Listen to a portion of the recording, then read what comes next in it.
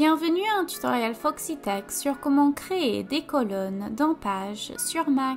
Si vous trouvez cette vidéo utile, merci de vous abonner à ma chaîne ainsi qu'aimer cette vidéo. Je vais vous montrer comment le faire à la fois dans la zone de traitement de texte et dans la zone de mise en page de page. Dans l'éditeur de texte par défaut de page, vous pouvez créer des colonnes en sélectionnant l'onglet Disposition.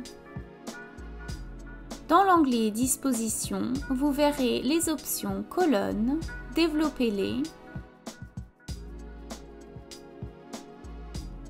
Vous pouvez ajouter plusieurs colonnes ici en saisissant un nombre ou en utilisant les boutons haut et bas pour créer ou supprimer des colonnes.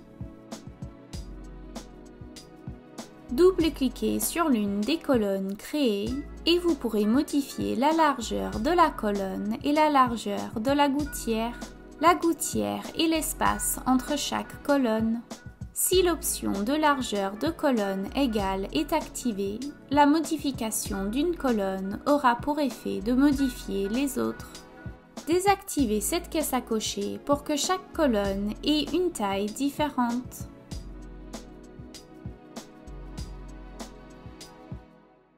Dans la rubrique Mise en page de page, vous pouvez créer des colonnes en sélectionnant d'abord une zone de texte et en la faisant glisser à la taille souhaitée.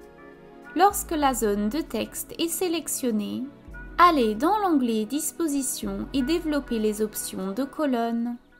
Vous pouvez alors créer et modifier des colonnes comme auparavant.